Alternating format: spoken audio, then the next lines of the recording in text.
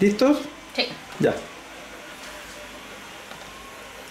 El teleprompter es un aparato electrónico que refleja el texto de la noticia previamente cargado en una computadora en un cristal transparente que se sitúa en la parte frontal de una cámara.